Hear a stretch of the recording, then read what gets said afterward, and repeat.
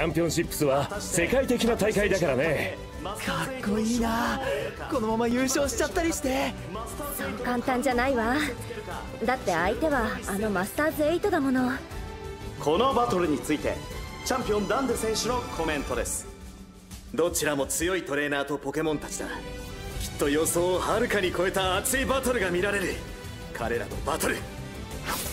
我々も全力で楽しもう。